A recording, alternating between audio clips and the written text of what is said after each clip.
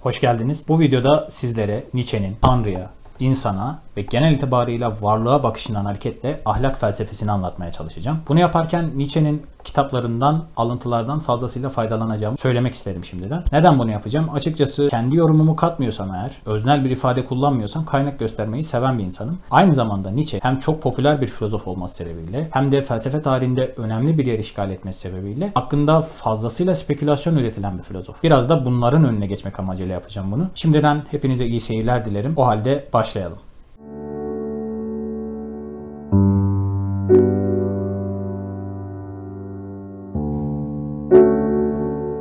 Bana sorarsanız Nietzsche hakkında en doğru tanımlama Stefan Zweig'a aittir. Nietzsche için değerlerin sonsuz relativisti kavramını kullanır ki hakikaten öyledir. Nietzsche bütün değerlere anlam yüklemez. Hani o Descartes'in çürük elmaları bir dökme şeyi vardır ya. Nietzsche'de kendi dönemi olsun, geçmiş dönemler olsun insanoğlunun sahip olduğu bütün değerleri bir yere döker. Daha sonra bunların sağlamlarını belki de toplamaya çalışır. Ancak çok da sağlam bir şey bulamaz o sepetin içinde. Nietzsche bunu yaparken kullandığı üslup biraz dağınıktır açıkçası. Felsefeyi edebiyatla besler ki bana sorarsanız hani şahsi fikrim felsefe ve edebiyat ayrı yerlerde durması gereken iki disiplindir. Bunları birbirine karıştırmak bana göre çok da tercih edilesi bir şey olmasa gerek. Nietzsche zaten beyni çok aktif çalışan bir insan. Söyleyeceği bir şey mesela bir yerde başlıyor. 50 sayfa sonra tekrar geri dönüyor şeye. E siz diyorsunuz ki bu 50 sayfa önceydi şimdi buna nereden döndük? O dağınıklık aslında Nietzsche üzerinden fazlasıyla spekülasyon üretilmesini sağlamış. Spekülasyonların önüne geçmek amacıyla videonun girişinde de söylediğim gibi Nietzsche'den alıntılarla ilerlemeye çalışacağım. Bunu yapma sebebim Nietzsche daha çok aforizmalarla yazan bir filozof. Zerdüşt'e baktığınız zaman tamam bir hikaye var, edebiyat var ama insanca pek insancaya bir bakın. Mesela baştan aşağı değil mi? Aforizmalardan oluşan bir kitap.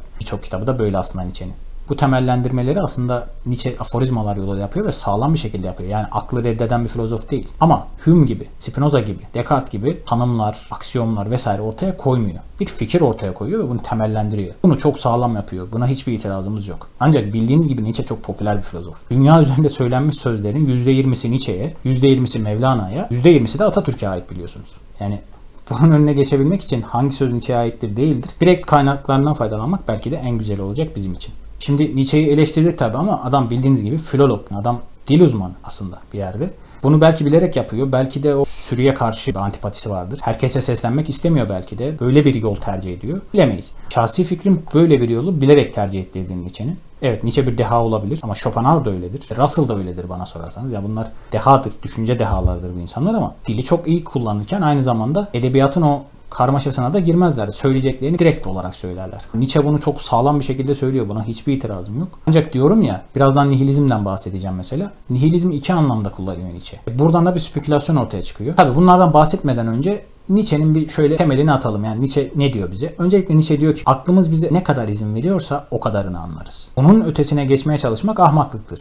Çok büyük iddialara, aşkın şeylere, insan aklını aşan şeyleri insanın kafa yormasına karşıdır açıkçası. Ve bunu yaparken de yalnızca aklın kullanılmasına zaten taban tabana zıttır Nietzsche. Bu yüzden kitaplarına baktığınız zaman Nietzsche'nin hep akılcı filozoflara bir eleştiri getirdiğini görürsünüz. Mesela Spinoza'ya münzevi maskarası der. Platon'u zaten yerden yere vurur. Hatta geçmiş dönem Hristiyanlığı olarak görür Platonculuğu vesaire vesaire. Akılcılara çok karşıdır. Neden? Çünkü salt aklı ele alıyor bu adamlar. Oysa diyor Nietzsche insan çok karmaşık bir varlıktır. Bilinçaltı diyor insanda çok çok önemlidir. Çok büyük bir yer eder. Bunu baz almazsanız insanı salt akıllı bir varlık olarak ve aklıyla her şeyi çözebileceğini düşünürseniz saçmalarsınız diyor. Artık haklıdır haksızdır tabi onu burada tartışmayacağız. İnsan aklının belli şeyleri anlamaya tek başına yetmeyeceğini düşünür. Bunun yanında hani transandantal denir ya aşkın şeylere Nietzsche karşıdır. Metafizikler bencilce bir icattır ve insanın tamamen kendini kandırma çabasının bir ürünüdür. Metafizikten tiksinen bir adamdır Nietzsche. Şimdi bu üslup olayına niye girdim, bu metafizik olayına falan niye girdim onu söyleyeyim arkadaşlar. Lütfen bir internette araştırın. Hatta YouTube'a da yazın şu anda. Nietzsche'yi bizlere nihilist olarak tanıtan kişilerle çevrili etrafımız. Hatta böyle anlı şanlı felsefe dergilerinde de bunu görüyoruz. İşte nihilizmin yılmaz savunucusu Nietzsche diye. Öyle değil olay. Nietzsche'nin hadi Schopenhauer'a değil. Değil. Tabii ki o da değil ama Schopenhauer'da hiç ise bir hayatı reddetme, ondan uzak durma şeyi var. Nietzsche'de bu yok. Yani felsefe tarihinde hayatı bu kadar olumlayan başka bir adam bulamazsınız. Tamam şunu söyler. Şeylere anlam katan biziz. Onlar tek başına anlamsızlar. Hiçbir şeyin anlamı yok belki ama bu değil ki nihilizm. Nihilizmi iki anlamda kullanır Nietzsche. Tamam burada Nietzsche'nin de hatası var hakikaten. Hata demek ne kadar doğru bilmiyorum da. Bir yerde Nietzsche diyor ki nihilizm mevcut değerlerin yıkılmasıdır. Bir bu. İki nihilizm hiçliğe giden yoldur. Hatta Nietzsche bir yerde şu cümleyi kullanıyor. Nihilizm kapıya dayandı. Bütün konukların bu en tekinsizi nereden geldi? Nietzsche bir kere bunu anlamaya çalışıyor zaten. Bakıyor ki mevcut değerler yavaş yavaş yıkılmaya başladı. Birazdan Tanrı öldü olayına gireceğiz ya. Hatta dinleri bu konuda eleştiriyor. Diyor ki dinler insanlığı hiçliğe, nihilizme götürür. Neden böyle diyor? Çünkü dinler bu dünyayı reddetme, dünyayı hayırlamalarla doludur. Öte dünya arayışının bir ürünüdürler. Dünyada hiçbir şey için aslında mücadele etmenin bir kıymeti olmadığını söyler. Dolayısıyla diyor insan hiçliğe gider. Bu dünyadaki her şey artık değersizleşir diyor. Dolayısıyla insan nereye doğru gidiyor? Sürükleniyor. Nihilizme doğru sürükleniyor der. Nietzsche zaten bunun önüne geçmek için uğraşır. Uğraşır ifadesi ne kadar doğru oldu bilmiyorum da aslında felsefesinde bunun için bir çaba vardır. Yani Nietzsche'ye nihilist demek bence çok yanlış bir şeydir. Nietzsche nihilist bir filozof kesinlikle değildir. Şimdi tabii dinlerin yanında modernizmi de eleştiren bir adam. Modern çağı, kendi çağını da eleştiren bir adam. Orta çağı da eleştiren bir adam. Zaten Nietzsche'nin eleştirmediği şey çok azdır. Yani filozoflarda da böyledir. Ben açıkçası Nietzsche'nin hiç eleştirmediği böyle adını verdiği de daha sonradan eleştirmediği çok kişi bilmiyorum. Aklımda kalanlar Montaigne var. Montaigne hakikaten çok sever. Hatta onu yaşarken okumanın çok kıymetli olduğunu söyler. Schopenhauer'u eğitimci olarak Schopenhauer'da yarı tanrı olarak nitelendirir. Daha sonra aman aman yani. E, Wagner'de arası zaten daha sonra bozulur. Ona da böyle birkaç giydirme falan yapar. Diyorum ya Nietzsche'den nasibini almayan filozof sayısı pek azdır ya da bir ideoloji sayısı da pek azdır. Bir yerde cığcı cıvcığı varsa, cılıkçılık varsa Nietzsche ona karşıdır. Darwincilik. Bizim ülkemizden örnek vereyim. Atatürk'e değil, Atatürkçülüğe karşıdır mesela Nietzsche. Çünkü diyor kendi değerlerinizi kendiniz yaratmalısınız. Hiçbir ideolojiye, hiçbir fikre bağlı olmamanız gerekir. Tabi aynı zamanda hiçbir dine de bağlı olmamanız gerekir. Özgür ruhlu bir insan olabilmek için diyor Nietzsche.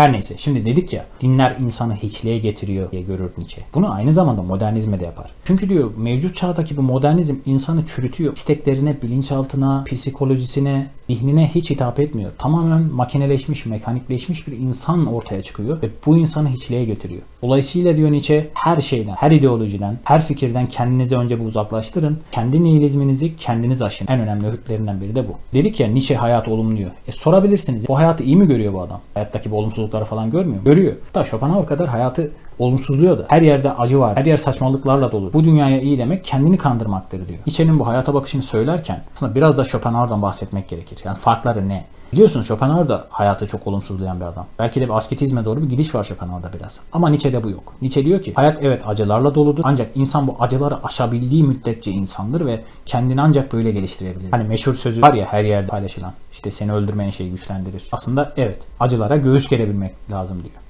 Hatta Meister Eckhart'tan şu sözü paylaşıyor Nietzsche. Seni mükemmelliğe en hızlı biçimde ulaştıracak şey acı çekmektir. Pekala güzel. Acımızı da çektik. Mükemmelliğe doğru gidiyoruz. Peki nereden başlamamız lazım? Daha doğrusu Nietzsche nereden başlamış bir ona bakalım. Nietzsche'nin diğerlerinden farkı bana göre genealoji deniyor ya soy bilimi vesaire. İşte ahlaka da bunu yapıyor Nietzsche. Hatta biliyorsunuz bir kitabın adı Ahlakın Soy Kütüğü üzerine. İşte Nietzsche ahlakın kökenlerini araştırıyor. Bu ahlak nasıl oluşmuş? Nereden gelmiş? İnsanlar nasıl böyle bir ahlak yaratmışlar ve günümüze kadar bu ahlak evrile evrile hangi şekle bürünmüş ona bakıyor. Örneğin bakalım Platon'a, Kant'a, Spinoza'ya değil mi? Bunlar da inanç alanında söz söyleyen adamlar. Kant mesela Tanrı'yı bilip bilemeyeceğimize bakıyor ve saf aklın eleştirisi vesaire kitaplar yazıyor bunun üzerine. İnsan aklı neleri bilebilir, neleri bilemez. İşte Platon'u biliyorsunuz. Bu dünya bir iştir diyor. İdealar dünyası vardır. Mükemmellik oradadır vesaire vesaire. Spinoza'yı zaten geçen videoda da anlatmıştım biliyorsunuz. Burada direkt olarak Nietzsche'den bir alıntı yapmak isterim. Şöyle diyor Nietzsche. Bütün değerler ters yüz edilemez mi? Belki de kötüdür iyi ve Tanrı sadece bir buluşu ve inceliğidir şeytanın.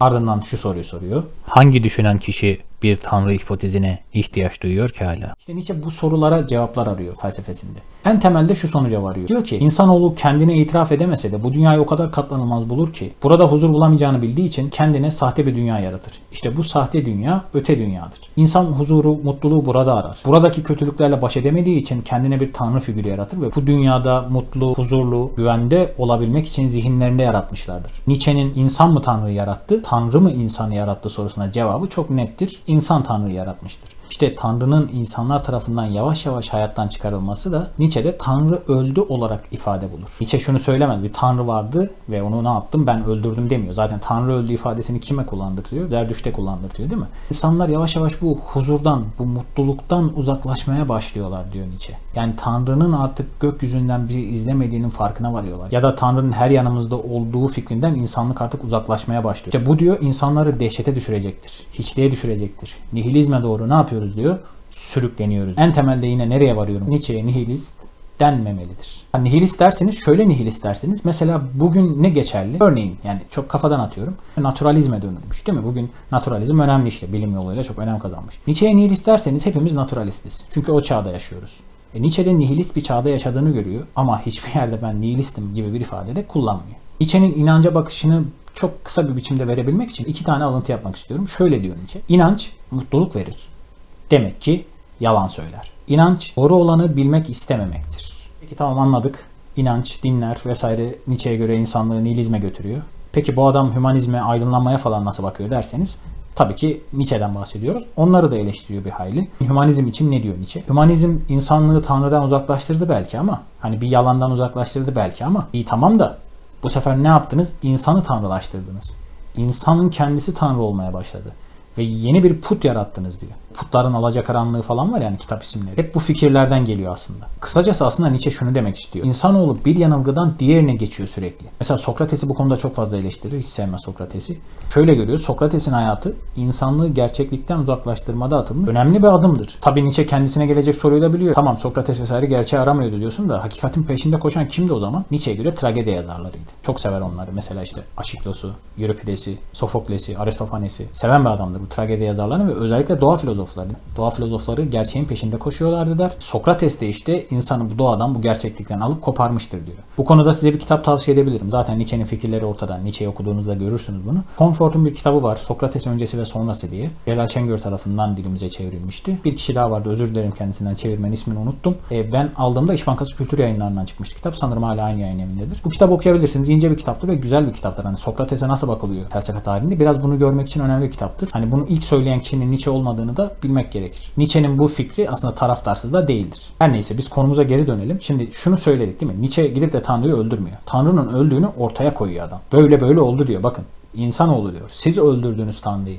Kendi ellerinizle öldürdünüz Tanrı'yı diyor. İşte bunu yaptığınız için mevcut bütün ahlaki yapı bir çöküşe geçmiştir. Ve insanoğlunun hayatındaki o göksel amaç artık ortadan kalkmıştır. İnsanoğlu adeta bir felakete doğru sürüklenmektedir diyor. Kim geliyor burada post bıyıklarıyla? Böyle bir iddiası yok. Bu işin şakası. Ancak Nietzsche'nin bir iddiasından daha bahsetmek gerekir. Hani demiştik ya dünyanın mekanik hale geldiğinden bahsediyordu. Özellikle Tan Kızıllığı isimli kitabında bundan çok dem vurur. Tanrı öldü. O muhteşem amaçsallık ortadan kalktıysa bunun yerine yeni bir ahlak inşa etmemiz gerekir. Peki ne yapacağız? Kendi değerinizi kendiniz yaratacak kadar güçlü olun diyor Nietzsche. Başkasının inşa ettiği köprülerden geçmeyin. Bir ahlak söz konusu olacaksa bu dünyada kendinizi kandırmadan, gidip bir yerlerde huzur bulmadan, gerçeği arayarak, hakikat neyse, bu dünya kötüyse bunu kötü diyerek ve bu bir sonsa, tekrar doğmayacaksak, yaşamayacaksak, bunu kendinize itiraf ederek ve bütün gerçeklerle yüzleşerek kendi gerçeğinizi kendiniz yaratmalısınız. Ve bu yüzden sadece dinlere değil Nietzsche, evrensel bir ahlak teorisi ortaya koyan, her görüşten adeta nefret ediyor. Diyor ya ben çekişle felsefe yapıyorum. Balyozuyla alıp bunları yıkmak istiyor. Kant'ı bu yüzden hiç sevmez Nietzsche.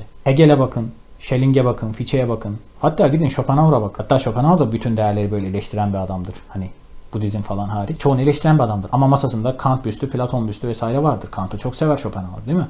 Onun asıl takipçisi benim vesaire der. Hatta İslam ve tasavvur olarak dünya başyapıtında beni anlamak için der öncelikle bir Kant'ı okuyun. Kant'ı anlayın da daha sonra gelin beni okuyun der. Nietzsche ise Kant'la dalga geçer aslında. Hatta onu gizli Hristiyan olmakla suçlar. Schopenhauer'a da bu yüzden kızar mesela. Schopenhauer'un bir deha olduğunu kabul eder ancak metafizik postuna bürünmüş bir kaplan olarak nitelendirir Schopenhauer'u. Ben de Schopenhauer'u çok severim ama gerçekten de öyledir yani. Metafizik Schopenhauer'un felsefesinde önemli bir yer tutar. Kaplandır değildir oraya tabii siz karar verirsiniz. Peki şimdi ne yapacağız o zaman? Dedik ya kendi değerlerimizi kendimiz inşa edeceğiz ve hayattaki bütün acılarla yüzleşeceğiz. Göğsümüzü gere gere o bütün acılara karşı geleceğiz. Yani hakikaten ya istiklal ya ölüm.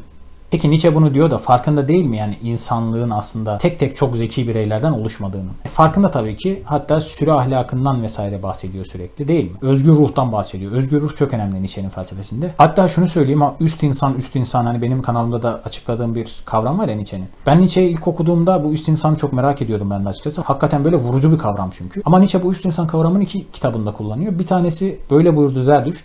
Diğeri de Şembil. Üst insan kavramına diğer kitaplarında rastlamadım açıkçası. Bunu yaparken böyle üst başlık olarak üst insanı koyuyor. İşte onun açıklamalarını getiriyor falan diyemeyiz tabii ki. Hatta en çok bilinen tanımı var ya. İnsan hayvan ile üst insan arasında gerilmiş bir iptir gibi böyle aforizmalarla kısa kısa açıklamalar yapıyor aslında. Asıl kavram Nietzsche'de bana sorarsanız özgür ruhtur. Hatta özgür tin olarak çevrilir ya öz Türkçe'yle. İşte bağlı tin, trajik insan vesaire. Bu tanımlamalar önemlidir Nietzsche'de. Yani kısacası aslında birçok insanın kendi ahlakını yaratamayacağının farkında Nietzsche. Ve aslında Nietzsche'nin felsefesinde insanlar arasında bir ayrım görürüz evet. Ancak bu ayrım asla ırka, cinsiyete vesaire dayanmaz. Bunu görenlerden biri Russell'dır. Russell Batı Felsefesi Tarihi kitabında Nietzsche hakkında şu sözleri söyler. Nietzsche için bütün bir ulusun sefaleti büyük bir bireyin ızdırabından daha az önemlidir. Yeryüzünün efendileri olacak, uluslararası bir egemen ırk ister. Tabi bu Russell'ın yorumudur. Katılırsınız, katılmazsınız. Ancak Nietzsche'de dediğim gibi bir ayrım evet mevcuttur. İnsanların akıl, zeka, karakter olarak hiçbir şekilde eşit olmadığını açık biçimde söyler. E işte Nietzsche'ye göre bu tür insanlara insanlık tarihinde gereken önem verilmediği için tarih bizi böyle kötü bir sona sürüklemiştir. Dolayısıyla gider o ahlakın soykütüğüne bakar. Tabi bu jeneolojik araştırmadan sonra Nietzsche ne yapar? Hristiyanlığı hedef tahtasına koyar. Bütün dinleri eleştirir ancak itiraf etmek gerekir ki en fazla Hristiyanlığa karşı bir eleştiri getirir. Neden bunu yapar? Çünkü köle ahlakını en saf temsili olarak Hristiyanlığı görür. Musevilikten başlar çünkü Hristiyanlığın Musevilikten beslendiğini görür ve Hristiyanlığa doğru gider. Ki Deccal kitabı sırf bu amaçla yazılmış bir kitaptır zaten. Bu kitapta bütün dinleri ve onların baş temsilcilerini eleştirdiğini görürsünüz. Ancak Hristiyanlığın bu eleştiride çok farklı bir yerde olduğunu da görürsünüz. Hatta bu kitapta şöyle ifadeler de geçer. 59 ve 60. maddelerinde şu ifadeler geçer. Müslümanlık Hristiyanlığı hor görüyorsa bin kez haklıdır. Hristiyanlık bizi antik kültürün mirasından etti. Daha sonra da bir kez daha Müslüman kültürün mirasından etti. İspanya'nın harika kültür dünyası bizim için temelde Roma ve Yunanistan'dan daha akraba, bizim duyum ve beğenimize daha yakın olan bu dünya ayaklar altında ezildi. Çünkü yaşama evet diyordu. Bu ifadelerde de gördüğümüz gibi Hristiyanlık Nietzsche için farklı bir yerdedir. İslam Rönesansı'nı över. İslam'ın o felsefeyle bütünleştiği yıllar var ya Endüsler vesaire. O tarihleri över Nietzsche. Ancak temelde bütün dinlere karşıdır ve dinlerin insanların iyiye yönelmesini, iyiye gitmesini engellediğini söyler. Bunları sert bir biçimde eleştirir. Ve insanlardan sahte bir sevgi, saygı bekledikleri için dinlerin birçok şeye engel olduğunu söyler. Ve şöyle bir ifade kullanır. Biraz da hayal ürünü varlıklara sunabilecek kadar sevgi ve iyilik yok ki dünyada der Nietzsche. Şimdi biraz da şu ahlakın kökenlerine bakalım. Biliyorsunuz kendisi antik Yunan dili uzmanı. Yani bu köken araştırması yaparken çok zorlandığını söyleyemeyiz. Antik Yunan'a bir bakıyor mesela. Burada diyor ahlak nasıl şekillenmiş, nasıl oluşmuş. Bunu yaparken dediğimiz gibi jeneolojik bir yol izliyor. Bu yola girerken şu soruyu soruyor Nietzsche. İnsanoğlu hangi koşullar altında yaratmıştı bu iyi ve kötü değer yargılarının. İşte Ahlakın Soykütüğü isimli eserinde de bu sorunun cevabını görüyoruz aslında. Nietzsche diyor ki temelde insanlık belli dönemlerde efendi ve köle olarak ayrılmıştır. Dolayısıyla bu efendi ve köle olarak ayrılmak insanın da efendi ve köle sistemine dayalı bir ahlak oluşturmasına sebep olmuştur. E hepinizin de bildiği gibi efendiler dediğimiz arkadaşlar güçlü, nüfus sahibi, her yere böyle bulaşabilen, her istediğini elde edebilen adamlar. Köle dediğimiz arkadaşlar da işte güçsüz, verilen emri yerine getiren, belli dönemler haricinde çok kafa kaldırmayan, itaat eden insanlar. İşte Nietzsche de diyor ki eğer mevcut ahlak işte bu efendilerden beslenmişse nitelikli bir yapıya sahip olacaktır. Hayır kölelerden beslenmişse tıpkı kendileri gibi zayıf, güçsüz ve temelsiz bir mahiyete sahip olacaktır diyor. Peki Nietzsche tarihi dönemler içerisinde hangi ahlak yapısının daha çok egemenlik sürdüğünü söylüyor mu bize? Evet söylüyor. Diyor ki antik çağda ilk olarak efendi ahlakı mevcuttu ve insanlar erdemli, onurlu bir şekilde yaşıyorlardı diyor. Ta ki bu köle denen arkadaşlar bir araya gelip ki Nietzsche'ye göre bu kölelerin de bir araya gelmesi engellenmelidir bu arada. İşte bunlar bir araya gelip baş kaldırırlar. Bunun da ilk örneğini Musevilikte görürüz diyor. Onlar diyor adeta bu çileciliği, sefaleti, hor görülmeyi bir erdem gibi göstererek kendilerini efendilerle eşitlemeye çalışmışlar. Hatta onları aşmaya çalışmışlardır. Peki bunu başarmışlar mıdır? Evet başarmışlardır. Çünkü bunlar sürüdürler diyor Nietzsche. Sürüler her zaman kazanır diyor. Dolayısıyla bunların bir araya gelmesi engellenmelidir. Hani az önce dedik ya işte tam buraya varıyor. Bu sürüler ne zaman bir araya gelirse her zaman zafer kazanırlar. Sürülerin bir araya gelmesini engellerseniz zafer zeki ve erdem sahibi insanların olacaktır diyor. Netice itibarıyla bu insanların kaybettiğini de görüyor tarihsel dönemler içerisinde Nietzsche. Yani Museviler kazandığı için artık erdem addedilen şeyler çilecilik, yoksulluk, işte sefalet, kendinden olmayana hayır deme, bu dünyanın geçiciliği, öbür dünyanın kıymeti vesaire bu tür şeyler olmaya başlıyor diyor. Örneğin eskiden bir erdem olan soyluluk artık köleler sayesinde bir erdem olmaktan çıkmış hatta aşağılanması gereken bir şey olarak görülmüştür. Çünkü köleler der Nietzsche buna asla sahip olamayacaklardır. Tüm bunların ilk olarak Musevilikte vücuda geldiğini görüyor Nietzsche ancak dediğimiz gibi asıl eleştiri Hristiyanlığa getiriyor. Neden? Çünkü Nietzsche'nin en çok karşısına durduğu bu köle ahlakının en saf şekliyle Hristiyanlık öğretisinde teşekkül ettiğini görüyor. Ve temelde öyle diyor. İsa tarafından şekillendirilen bu öğretide soyluluk denen şeyin, efendilik denen şeyin, bu tür şeylerin, ihtişamın vesaire hiçbir şeyin önemi yoktur. Tek önemli olan şey öte dünyadır. Bu dünya gelip geçicidir. Bu dünyaya niye önem veriyorsunuz ki? Bu dünyada siz sadece bana inanın, benim söylediklerime inanın.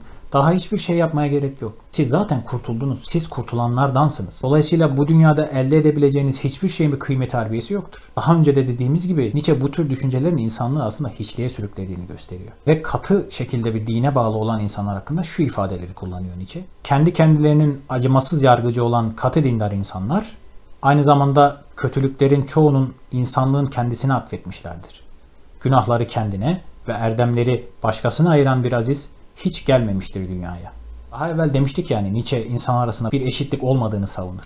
İşte Hristiyanlığın tam olarak bunun önüne geçtiğini söyler. Hristiyanlıkta şunu görür Nietzsche, burada güçlü bir şekilde eşitlik vurgusu var. Bu eşitlik vurgusunun yapılmasının sebebi ne? Nietzsche bunu şöyle açıklar. Bu sürü ahlakına sahip olan insanlar hiçbir zaman diğer insanlarla eşit olamayacakları için temelde bir korku dünyası, korku imparatorluğu yaratarak diğerleriyle eşit hale gelmeye çalışmışlardır. Peki Nietzsche'ye göre bu arkadaşların silahları ne? Sevap, günah, cehennem, sonsuz acı gibi kavramlarla insanların en temel içgüdülerine, korkulara ve umutlara seslenmişlerdir. Dolayısıyla Nietzsche Hristiyanlar için şu ifadeyi kullanmaktan geri durmaz. Genel olarak inanılması koşuluyla gündelik Hristiyan zavallı bir figürdür. Gerçekten üçe kadar sayamayan bir insandır. Ve tabi bu söz devam ediyor. Yalnız şunu söylemeden geçmeyeyim arkadaşlar. Diğer eşitlikçi öğretiler işte liberalizmdi vesaireydi. Bu tür şeyler Nietzsche'nin öğretisinde kınanmıyor mu? Tabii ki kınanıyor. Yani eşitlikçi ne varsa Nietzsche buna karşı. Çünkü diyor doğada böyle bir şey yok ki. Bunu niye uyduruyorsunuz? İnsanları niye kandırıyorsunuz? Niye insanlara yalanlar söylüyorsunuz? Bu uydurduğunuz yalanlar insanlığın gelişmesinin önünde bir engel oluyor. İnsanlara doğruları verin, gerçeği verin. Umutlar, korkular vesaire vermeyin. İnsanların ilerlemesini istiyorsak, insanlığın bir bütün olarak ilerlemesini istiyorsak onlara yalnızca gerçeği sunun.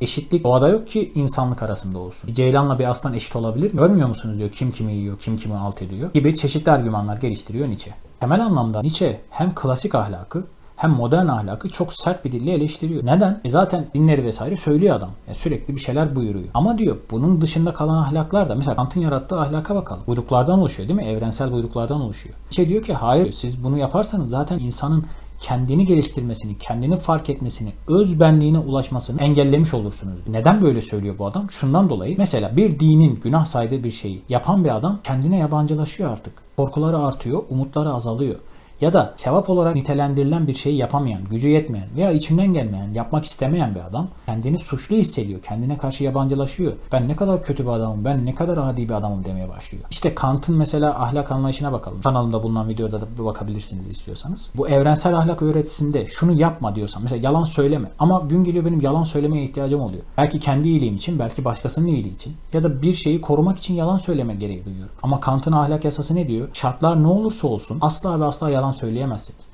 Yalan söylerseniz ahlaka uygun hareket etmemiş olursunuz. E Nietzsche de diyor ki işte eğer böyle bir ahlak buyrulursa, evrensel bir ahlaktan söz edeceksek bu insanı kendisine yabancılaştırır. Önünde sonunda ne olur? İnsan bu hayata evet diyemez. Hayatı olumlayamaz. Hayattan uzaklaşır. Başka ne olur? İnsanlar entelektüel zekalarını kullanamazlar. Fiziksel kapasitelerini ortaya koyamazlar. Hatta insanlığın en temel ihtiyaçlarından biri olan insellik dürtülerini bile karşılayamaz hale gelirler insanlar. Hatta bazı yemekleri yemekten bile uzak tutarlar kendilerini. İşte bu özgür ruha, ya da üst insana giden yolu kapatmaktadır. Bu özgür ruh kavramına birazdan değineceğim. Özgür tinni kavramına. Bu önemlidir Nietzsche'de. Ancak şu ahlak konusunu bir bitirelim. Tüm bu engellemeler, bu ket vurmalar Nietzsche'nin karşısında durmak istediği şeyler aslında. Peki bir birey olarak Nietzsche bize ne diyor? Yani ne öğütlüyor? Nietzsche'nin bize öğüdü ne?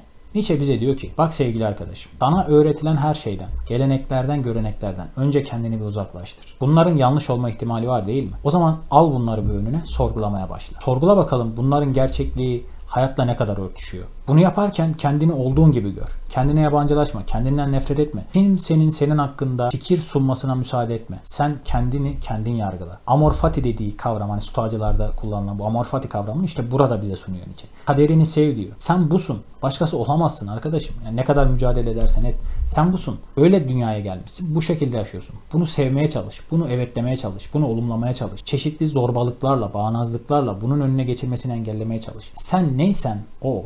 Biraz Mevlana'ya mı geldik ya olduğun gibi görün ya da göründüğün gibi ol. Tabi farklı öğretiler ama netice itibariyle Nietzsche'de de bu vardır değil mi? Hiç değilse şunu diyor bize Nietzsche. Kendin gibi ol arkadaşım. Birilerinin sana muhteşem bir ideal sunmasına izin verme. O Platon palavra, hikaye. Öyle bir şey yok. Bir mükemmellik yok. Belki de mükemmel olan sensin. Sen kendine göre zaten mükemmelsin. Artık size göre nasıl bilmiyorum. İyi mi konuşuyor Nietzsche, kötü mü konuşuyor ama. Bu da var. Şimdi Nietzsche hayatın gerçekliğinden bahsediyor ama dediğim gibi onu da görüyor yani. Her insan bunu yapamaz. Her insan kendi değerlerini oluşturamaz. Çevremizde öyle insanlar görüyoruz ki mevcut olan sistemi bile uygulamakta zorlanıyor. Bu bir acizliktir, değildir. Orası tartışılır. Bilemiyorum. Nesi itibariyle eşit değiliz. Her insanın kendi değerini yaratmasını işte kendini gerçekleştireceğini vesaire söyleyemeyiz. Bunu bütün öğretilerde görürüz aslında değil mi? İnsanların eşit olmadığı aslında bir şekilde vurgulanır. En basitinden Kolberg'in ahlak yasasına bakalım. O evrensel ahlak, son ahlak şeyi var ya Kolberg'de. Ne diyor Kolberg? Buraya diyor insanların yüzde milyon kaçı ulaşabilir? Çok az ulaşabilir. E, Freud öğretisini ortaya koyarken ne diyor? Beni çok az kişinin anlayacağını biliyorum. Ancak bu çok az kişi bana yetecektir. Ya vesaire vesaire birçok örneğini verebiliriz. İşte Nietzsche de aslında bunun farkında ve insanları tanımlarken farklı kavramlar kullanıyor. Öncelikle şu özgür tinli kavramına bakalım. Ne demektir bu özgür tinli? Bunu yaparken direkt Nietzsche'den alıntı yapacağım. Nietzsche bize söylesin ne demekmiş özgür tinli. Kendisinden kökeni, çevresi, zümresi ve mevkisi temelinde ya da zamanının egemen görüşleri temelinde beklenilenden farklı düşünen kişiye özgür tinli denir. Genellikle hakikat ya da en azından hakikati araştırmanın ruhu özgür tinlinin yanında olacaktır. O nedenleri ister, diğerleri ise inancı. E Nietzsche özgür tinliği bu şekilde tanımlıyor ve özgür tinli olabilecek insanlar da söylüyor. Kendini her türlü ideolojiden, dinden vesaire soyutlamış bir insan. Buna katılırsınız, katılmazsınız. Size göre dini inancı olan bir insan da öz, gayet özgür ruhlu olabilir. Ancak biz burada tabii Nietzsche'nin görüşlerine yer veriyoruz. Ve Nietzsche semavi dinlere ya da diğer dinlere, ideolojilere saplanan insanların özgür ruhlu olmaktan uzak olacaklarını söyler. Tabi bunu söylerken argümanlarla sunar. Der ki bu insanlar belli kalıplarla şekillenmişlerdir. Her ne olursa olsun bu insanların belli bir sınırı vardır. Belli sınırı aşamazlar. Dinleri bunu yasaklar. İdeolojileri bunu yasaklar. Fikirleri bir kalıba dökülmüştür der bu insanların. Özgür ruhlu olmaktan uzaktırlar. Tamamen kendileri olamazlar. Buna asla müsaade edilmez der. İnandıkları inanç, dayandıkları görüş tarafından der Nietzsche. Ve şöyle de bir ekleme yapar aslında. Der ki zaten bu insanların böyle bir çabası da olmaz. Çünkü bu insanlara iyi nedir, kötü nedir, doğru nedir, yanlış nedir, ne yapmalı, ne yapmamalı hepsi teker teker bir sistem halinde sunulmuştur. Zaten bunları araştırma gereği de duymaz o insanlar. Dolayısıyla özgür bir ruh olma yoluna girmeyi dahi denemezler der. Yani özetle hep aynı şey geliyoruz. İşte Nietzsche bir inanca, bir ideolojiye, bir şeye bağlanmanın insanın kendini gerçekleştirmesini engellediğini söyler. Dolayısıyla insanlığın bu tür şeylerden uzak olması gerektiğini ve iyinin ve kötünün ötesinde bir şey arar ki bu isimde de nedir? Kitap vardır. Aslında Nietzsche'nin fikirlerinin bir özetini yani bir anahtar kelimelerini kitapların isminde bulabilirsiniz. Antichrist mesela değil mi? Deccal. İyinin ve kötünün ötesinde. Ahlakın soykütü üzerine. Kutların alacakaranlığı. Her neyse dönüyorum. Peki bu özgür ruhlu ve üst insan aynı şey midir? Hayır değildir. Bunlar ayrı tanımlamalarda yer alırlar. Bana göre tamamen öznel görüşüm. Her özgür ruhlu, özgür tinli insan üst insan değildir. Ancak her üst insan mutlaka özgür ruhludur. Ama bunlar aynı şeyler değildir. İşte bu özgür ruhun tam karşısında dogmatik tavır yer alır. Buna da bağlı tinliler adını verir Nietzsche ve bunların belli özellikleri olduğunu söyler ve belli doğruları baştan en baştan kabul ettiğini söyler. Bunları da direkt Nietzsche'den alıntı yaparak söylemek isterim sizlere. Yani nedir bu dört doğru? Nietzsche şöyle diyor. Birincisi kalıcılığı olan tüm şeyler doğrudur. İkincisi bizi rahatsız etmeyen her şey doğrudur. Üçüncüsü bize yararı dokunan her şey doğrudur. Dördüncüsü uğruna kurban verdiğimiz her şey doğrudur. İşte Nietzsche bu bağlı tinli olarak tanımladığı insanların bir araya gelerek aslında sürü ahlakını oluşturduklarını söylüyor. Ve gerek kendi döneminde gerekse geçmiş dönemlerin birçoğunda Nietzsche'nin o çok sevdiği işte tragedi yazarlarının dönemi, doğa filozoflarının dönemi haricinde belki de bütün dönemlerde insanlığı aslında bir sürü ahlaki egemen olmuştur diyebiliriz. E, sürü ahlakı deyince aklımıza Nazilerin gelmemesi imkansız tabii. E, bu yolla gerekli gereksiz gündeme getirilen şu Nietzsche'nin Nazileri destekleyip desteklemediğini bir cevap vermek isterim. Zaten cevaba gerek olmayan bir şey ama hiç değilse bu videoda bulunmasını isterim. Nietzsche'nin kitaplarını okuyanlar zaten bunu görürler. Nietzsche sürekli ırkçılığı, insanların doğuştan sahip oldukları şeylerden dolayı ayrıştırılmasına vesaire karşı gelen bir adamdır. Hatta Nazilerin sahip olduğu bu ideolojinin Alman milletini bir felakete götüreceğini söyler Nietzsche.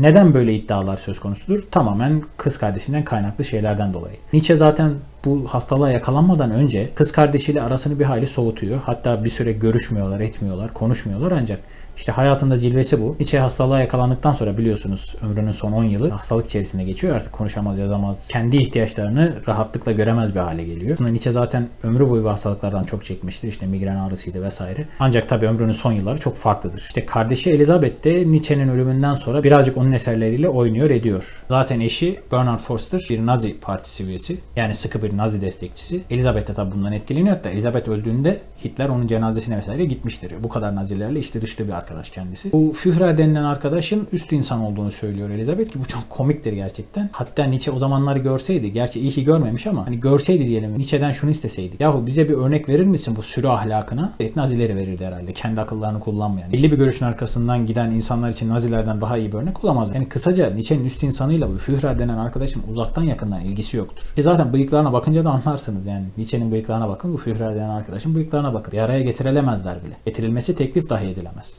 Şaka bir yana arkadaşlar. Bu konuyu çok merak edenleriniz varsa ben burada çok kısaca geçtim. Walter Kaufmann'ın bu konuda kitaplarına bakabilirler. Zaten kendisinden sonra Walter Kaufmann bu eserleri yazdıktan sonra Nietzsche'nin kitaplarından, yazdıklarından, metinlerinden birebir örnekler vererek ve Nietzsche'nin kitaplarına nasıl eklemeler yapıldığını göstererek bu konuyu ortaya koyduktan sonra konu kapanmıştır insanlık tarihinde aslında ama bundan habersizler hala belli şeyleri savunmaya çalışırlar ki zerre kadar alakası yoktur. Söylediğim gibi bu konuyu çok uzatmanın alemi yok. Dileyen arkadaşlar söylediğim kaynaklara bakabilir ve araştırmalar yapabilir. Ancak bu videoda yer etsin diye söylediğimi tekrar hatırlatmak isterim. Nietzsche ve ahlak anlayışıyla ilgili benim söyleyeceklerim bu kadardı. İzlediğiniz, kıymet ve destek verdiğiniz için her birinize teker teker teşekkür ederim. Sağlıcakla ve esen kalın. Bu videoyu Nietzsche'den bir alıntıyla bitirmek isterim. Söz konusu alıntı Nietzsche'nin gençlik dönemlerinde yazmış olduğu bir metinde geçiyor. Metnin adı ahlak dışı anlamda doğruluk ve yalan üzerine. İnternet üzerinde direkt bu isimle araştırırsanız bulursunuz. Ancak ben yazım yanlışlarından çok hoşlanan bir adam değilim ve bu metinde, internet üzerindeki metinde çok fazla yazım yanlışı var. Bunları düzelterek bir pdf haline getireceğim ve açıklamalar kısmına koyacağım söz konusu metni. Bileyen arkadaşlar oradan indirebilirler ve tek tek Nietzsche'nin fikirlerini buradan aslında gençlik dönemindeki fikirlerini daha doğrusu okuyabilirler. Güzel bir metindir. Nietzsche'nin ileride şekillenecek olan bu ahlak anlayışını özet bir biçimde ortaya koyar diyebilirim. Şimdi bu metnin başındaki bir ifadeyi okuyarak videoyu sonlandırmak istiyorum. Öyle diyor Nietzsche. Bir zamanlar sayısız güneş dizgeleriyle akarak uzayıp giden evrenin kıyıda köşede kalmış bir yerlerinde bir gök cismi varmış. Bunun üstünde yaşayan bazı kurnaz hayvanlar da bilme yetisini bulup kurmuşlar. Bu dünya tarihinin en gözüpek ve en yalancı dakikası olmuş. Ama işte yalnızca bir dakika sürmüş. Doğanın birkaç soluk alıp verişi sonrası gök cismi donup kalmış. O kurnaz hayvanlar da ölüp gitmişler. Birisi böylesi bir fabul kurabilir. Ama gene de insan zihninin doğa içinde nedenli zavallı, nedenli gölgemsi ve uçup geçici, nedenli ereksiz ve gelişi güzel bir yer tuttuğunu yeterince serinleyememiş olabilirdi. Zihnin var olmadığı sonsuz zaman süreleri var. O yok olup geçip gittiğinde de hiçbir şey olup bitmiş olmayacak.